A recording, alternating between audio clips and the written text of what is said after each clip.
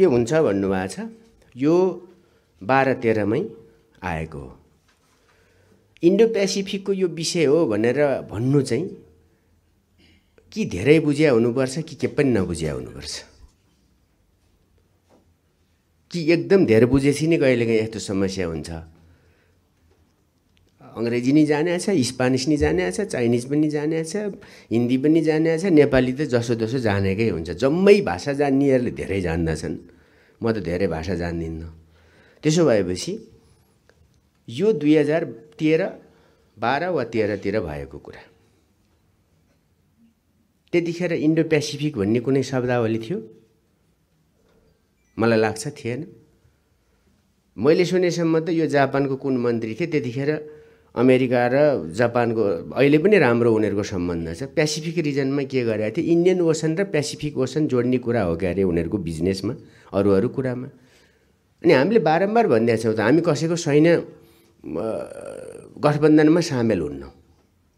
परराष्ट्र पोलिसी हाम्रो त्यही हो। यसमा के अल्मलिनु पऱ्यो जहाँसम्म विकासको कुरा छ यो कनेक्टिभिटी रोड र ट्रान्समिसन लाइनको कुरा छ त्यो कुरा त हामी मान्ने भनेकै छौँ त।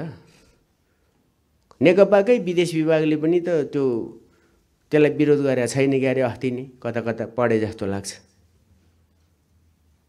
अब अर्को कुरा यो थाहा पाउनुपर्छ यो डेमोक्रेसी सुशासन पारदर्शिता र मानवाधिकार भएको देशहरूमा अमेरिकाले दिने एउटा सहयोग हो यो।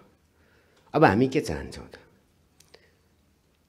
हामी यसरी उचाल्छौँ विषयलाई कि अब यो नदिया भोलिपल्ट के हुन्छ भने देखिस् नेपालमा न मानवाधिकार छ न डेमोक्रेसी छ न सुशासन छ। अमेरिकाले दिएन। अमेरिका जस्तो देशले दिएन।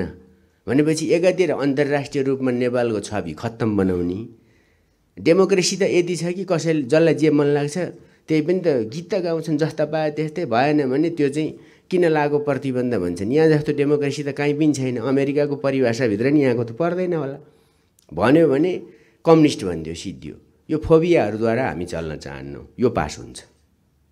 यति हो। यस यो पास हुन्छ।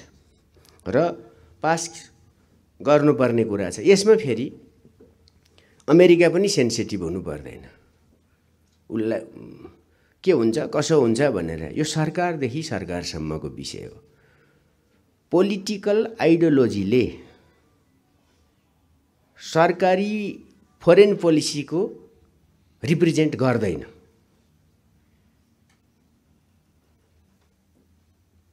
स्पष्ट भयो? राजनीतिक दलको के विचार छ त्यो कुराले देशसितको सम्बन्ध निर्धारण गर्दैन।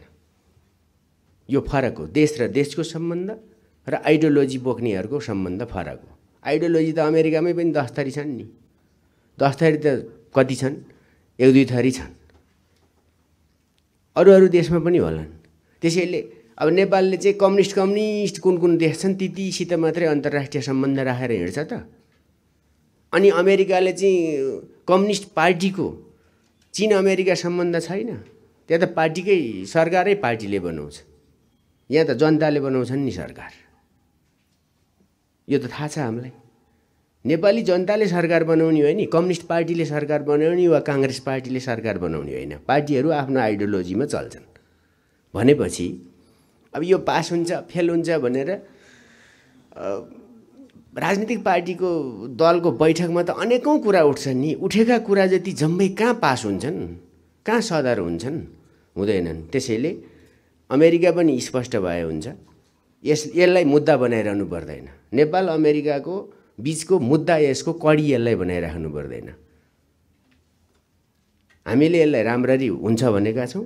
संसद बोलाइएको छ अस्ति नै पनि लगिसक्या हो। सरकारले त अस्ति नै पास गर्ने भनेर लगिसक्या हो। कसो कसो भयो संसदमा त्यो कुरा भएन। त्यहाँको प्रोभिजन अनुसार त्यो हुन्छ। अब यसलाई चाहिँ बेपत्तै फेरि पाँच सय खरबको बजेट पनि होइन पचास अर्बको हो। तर पनि हाम्रो लागि त्यो ठुलो कुरा हो। सम्बन्धको पनि कुरा हो बजेटरी सहयोगको कुरा पनि हो सहयोगको कुरा पनि हो। सम्बन्ध सुदृढ छ राम्रो छ भन्ने कुराको कुरा पनि हो। त्यसैले चाहिँ यो नभए फेरि के गर्ने भन्ने पनि छैन। अर्को अर्को झटारो आउँछ। त्यसतर्फ पनि सोच्नुपर्छ। जस्तो मलाई लाग्छ। त्यसैले जस्ताको तस्तै कस्ताको तस्तै भन्ने कुरै रहेन यो। हाम्रो हाम्रो देशलाई खत्तमै पार्ने कुनै कुरा छ भने त्यो कुरा बताइदिनु पऱ्यो तर अब कसैलाई केही लाग्यो? त्यो त भएन नि। यहाँ त कहिले भेनेजुएला प्रकरण उठ्छ कहिले एमसिसी प्रकरण उठ्छ। त्यसले सरकारलाई सरकार र सरकारलाई फरक पार्दैन। त्यति नै हो कुरा। सबैको सबैभन्दा राम्रो। Ratopati dot com.